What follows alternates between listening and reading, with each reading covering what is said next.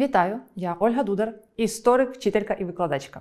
Ми продовжуємо вивчати непросту і актуальну тему розвитку країн Близького Сходу у повоєнний період. Першим питанням нашого заняття є Ісламська революція в Ірані. Після Другої світової війни іранський шах Мохаммед Реза проводив політику європеїзації країни. Було модернізоване суспільне життя, відбувалися економічні реформи. У 1963 році жінкам надали право голосу. Було обмежено традиційний інститут багатоженства. Життя в Ірані зовні нагадувало країни Європи чи Сполучених Штатів Америки. На фото ви бачите Тегеран 1970-х років. Але у ході реформ сотні тисяч іранців переселилися в міста. Та розвиток промислового виробництва був значно повільніший за темпи урбанізації. Це зумовило масове безробіття і невдоволення, яке посилювалося через розкішне життя шахського палацу і збагачення міністрів за рахунок прибутків від експорту нафти. Опозицію шаху очолило мусульманське духовенство, лідером якого став Аятола Хомейні. Аятола духовний лідер мусульман шиїтів. Фото Хомейні на екрані. Для боротьби з опозицією у 1973 році уряд заборонив усі політичні партії та об'єднання, заснував таємну поліцію. До кінця 1970-х років Іран охопили масові протести, які вилилися у повалення режиму Пехлеві і остаточне скасування монархії. У 1979 році в країні відбулася Ісламська революція і була заснована Ісламська республіка. Громадяни Ірану були невдоволені корупцією, відсутністю політичних реформ і жорстокістю репресивної машини за часів правління шаха. Вони сподівалися на швидкі зміни після революції. Натомість, у 1979 році владу отримало ісландське духовенство мули. Тих, хто опирався новій владі, просто знищували. Незабаром в Ірані була заборонена діяльність усіх політичних партій і неісламських громадських організацій. Не були втілені в життя обіцяні революціонерами-фундаменталістами важливі соціально-економічні перетворення. Більшість сільськогосподарських угідь, як і раніше, перебуває в руках великих власників, але тепер третину їх становить мусульманське духовенство.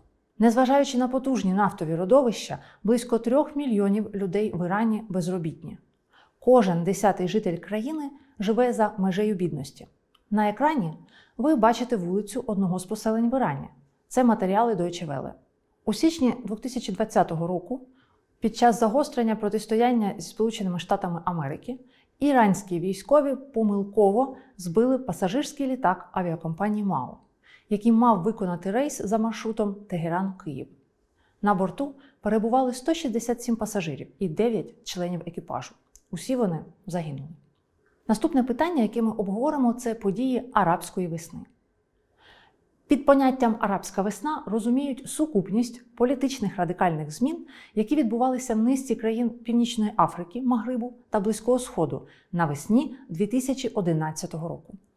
Хвиля арабських революцій розпочалась з Тунісу, поширилась на Єгипет, пізніше спалахнула в Ємені та Бахрейні. Не було жодної арабської країни, де не відбувалися б акції протесту, які тривали майже синхронно. На екрані ви бачите карту. Різними кольорами виділені країни, де протести призвели до тривалого протистояння, зумовили важливі зміни чи не мали значного розмаху. За потреби зупиніть перегляд відео і розгляньте карту уважніше. Також буде надано письмовий опис карти. Події арабської весни були масовими. Їхні учасники вимагали зниження цін на продовольчі товари, на створення нових робочих місць, боротьби з корупцією. В Алжирі і Єгипті ці протести починалися як хлібні бунти після чергового підняття цін на товари першої необхідності. Через відмови влади проводити реформи в таких країнах, як Туніс, Єгипет, Лівія, Ємен, чинне керівництво було повалене. Монархію в Бахрейні врятували Збройні сили Саудівської Аравії, Об'єднаних Арабських Еміратів, Оману, які втрутилися в критичний момент. На екрані ви бачите зображення протестів в Ємені. В усіх арабських країнах, де відбувалися революції, до влади прийшли ісламісти. У Тунісі вони здобули 40% місць у парламенті. В Єгипті на парламентських виборах перемогли брати мусульмани, а згодом саме їх представник став президентом Єгипту. У Кувейті, Йорданії, Омані та Алжирі розпочались масштабні реформи в усіх сферах суспільного життя. Проте зміни привладної верхівки не відбулося. Особливо посилились позиції радикальних ісламістських організацій в Єгипті, Сирії, Лівії та Ємені. Серед країн, яких торкнулася арабська весна, найбільше постраждала Сирія. Там, у 2011 році, протестувальники вимагали відставки президента Башара Асада. На фото сам президент. Конфлікт в Україні вийшов далеко за межі громадянської війни. Сирія перетворилася на майданчик протистояння Росії та Сполучених Штатів Америки, до яких приєдналися Іран, Туреччина, Саудівська Аравія і Катар. Росія у громадянській війні в Сирії підтримує режим Асада. Російські військові здійснювали авіаудари на знищення повстанських груп, від яких постраждало цивільне населення. Особливу загрозу для урегулювання ситуації на Близькому Сході становить псевдохаліфат Ісламська держава іділ, який взяв під свій контроль значні території Сирії та Іраку.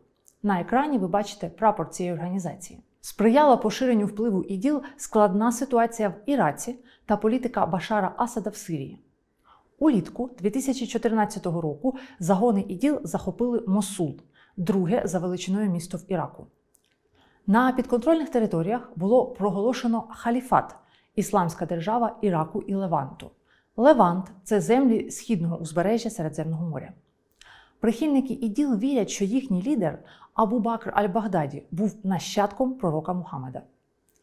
На березень 2015 року іділ контролювала території з населенням 10 мільйонів осіб в Іраку і Сирії, невеликі регіони Лівії, Нігерії, провінції Нанхар у східному Афганістані. Невдалим для іділ став напад на територію Іракського Курдистану. Зверніть увагу, курди це народ, який мешкає на південному сході Туреччини, заході Ірану, півночі Іраку, північному сході Сирії, а також у Вірменії, Азербайджані та інших країнах. Курди переважно мусульмани-суніти, хоча є також курди-шиїти, алевіти, єзиди, меншою мірою християни. Курди не мають своєї державності. Але на території Іраку вони сформували потужні воєнізовані загони, які поступово змусили сили іділ до відступу.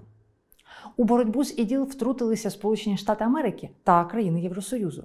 У відповідь іділ організовує теракти в Парижі у 2015 році, у Брюсселі, Лондоні, Барселоні, Багдаді, Кабулі та в інших містах. Що приваблює молодь вступати до іділ? Холоднокровні, жорстокі вбивства, здійснювані учасниками організації, а також поширення відеозаписів цих злочинах у соціальних мережах створює ілюзію всемогутності, особливо у тих, хто вважає себе вигнанцями західного суспільства. Ідеологія іділ створює ілюзію сім'ї, простого та правильного життя, відчуття власної обраності. Проте не останню роль відіграють невирішені соціально-економічні проблеми та релігійне протистояння. Фахівці зазначають, що приватні особи Саудівської Аравії та Катару надали іділ значну фінансову підтримку у зв'язку з прихильним ставленням до вахабізму, релігійної течії сунітів, що сповідує повернення до першоснов ісламу. Нині в Іраку угруповання перейшло в підпілля, але не можна стверджувати, що ісламська держава зазнала остаточної поразки. На жаль, люди, що розділяють ідеологію ісламської держави, продовжують здійснювати терористичні атаки і в інших регіонах. Для того, аби краще розібратися в цих питаннях, раджу вам ознайомитися з матеріалами підручника та знайти фахові матеріали у ЗМІ. А я прощаюся з вами до наступного уроку. Дякую за увагу!